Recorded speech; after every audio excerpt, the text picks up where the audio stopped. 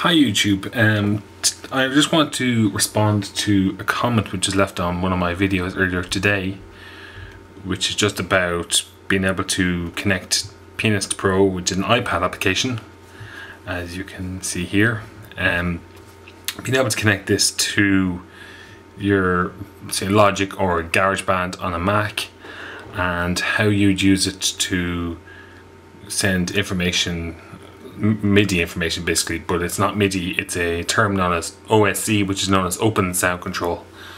So I just want to take you through how I'm going to set this up to be able to perform the notes on the computer and then you can have a look at it.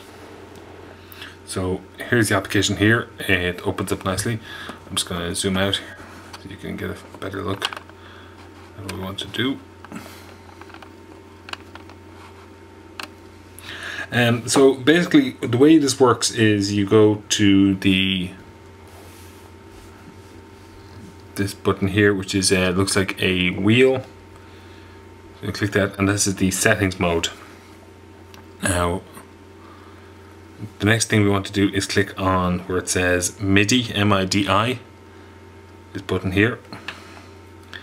And if you look here very closely, you're given an idea where it says to turn the option on. So obviously you want to turn this on. The next thing we want to do is OSC connectivity. The host IP address is the IP address of this computer itself. Now we want to change the interface to, to network and we want to make sure that this is set true.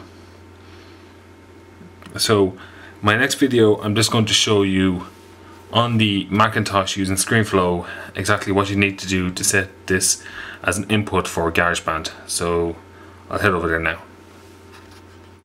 Okay, um, I just put the iPad down now and I want to show you how to set this up on your Mac. So the first thing you want to do is you want to go up here to the top right hand corner and click on the magnifying glass. Now this is a feature in Mac known as Spotlight.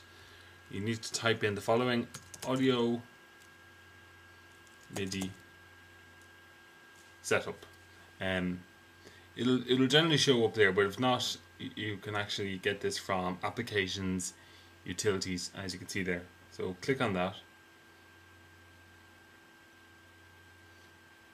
If nothing shows up, or if the wrong window shows up, which in this case it says audio devices, what you need to do then is click on Window, click on Show MIDI Window. Now, it's very important that you have Pianist Pro working on your iPad because it needs to be turned on and you need to complete the steps as I said in the previous video because it needs to pick this up as a MIDI server. So what you do then is you double click on where it says network and if it works successfully all you have to do then is just it'll say Stephen O'Connell's iPad which is my iPad but it'll have whatever you've named it yourself you just basically click on this. You make sure that it's everything is enabled.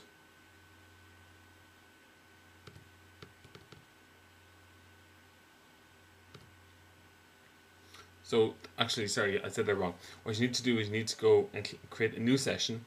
It'll just be called session 1 and um, it'll see your iPad here so that's fine. You need to make sure it says enabled and then at which stage all you have to do then is just click connect. When it's connected um, message will show up on your iPad saying a network MIDI device was connected. Tap OK on the iPad. Now I'm going to just bring this into GarageBand because it'll tell you now the number of MIDI inputs has changed which means it does recognize that your device is a MIDI input all you do then is you, as, long, as soon as you hit a key on the iPad itself,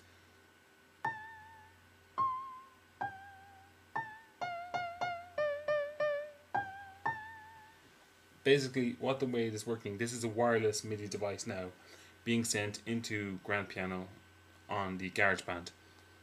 I'm not controlling this using any other MIDI device except my iPad.